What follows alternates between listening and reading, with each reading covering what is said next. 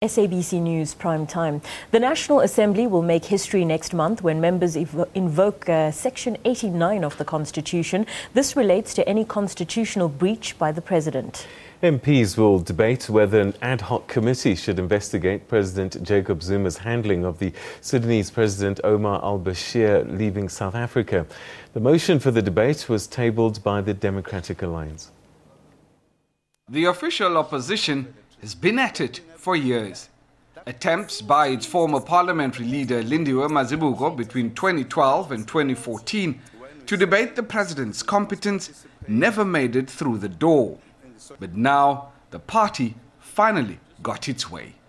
The National Assembly will consider how al Bashir was allowed to leave the country despite a court order to arrest him and if an investigation is warranted. It'll be the first time ever that Section 89 is being invoked, which is an impeachment of the President. And what this requires you to prove is that the President has breached the Constitution, the laws of South Africa, and his oath of office.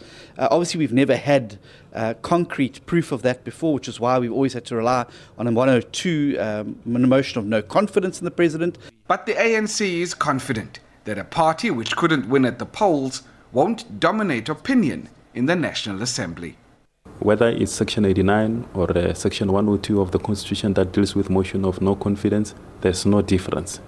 Uh, both of them warrants that uh, Parliament must schedule them, must debate them. But at the end, they will be thrown out of the window because they are nonsensical. The debate is scheduled for Tuesday, September the 1st. Lukhanyo Calata, SABC News, Parliament.